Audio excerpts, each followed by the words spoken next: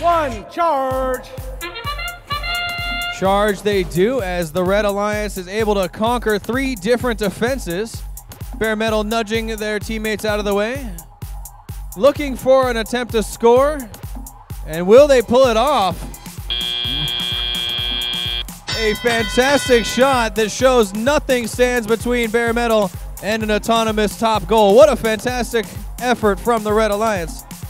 The Blue Alliance comes on in though. 42.05 goes low. The Robo Cubs put it down for two.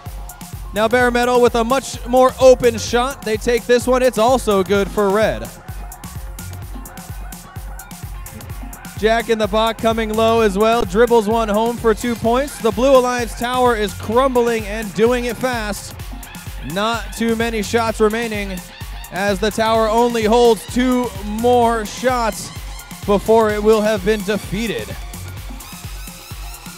90 seconds. It's a minute and a half left in play. No defenses have been entirely defeated on either line. The Blue Alliance defense is still holding steady. But the Ramparts will be one of the last pieces to keep the Red Alliance away from the extra ranking points. And just like that, they have defeated. Bear Metal has scored. The tower will crumble. Blue Alliance flag is down as Red whittles away with still 60 seconds to continue scoring. And this is another one of those times you will see teams leaving it all on the line as they want to make sure they leave the best taste in everyone's mouth as they go into our alliance selections coming up in just a few matches. Everyone wants to end this game on a high note. 40 seconds to continue showing off as the Blue Alliance makes it look easy. The Warriors rattle the chains and the Red Tower continues to crumble. A lob shot from Bear Metal adds one to the tally with 30 seconds remaining. Bear Metal looks for that last ball. And it's the low bar that's giving him a little bit of trouble. And it's not enough trouble to stop the Bear Metal machine as they now have possession in the final 10 seconds.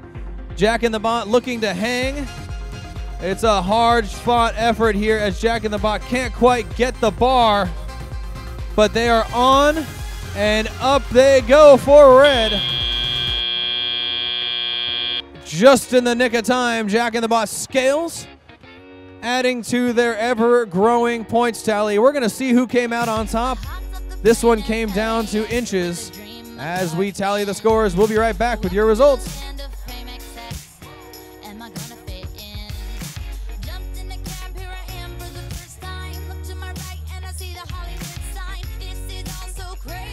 That fantastic last minute scaling effort from Jack in the Bot brings the Red Alliance 137 points. They captured the tower and they took home the ranking points to show for it.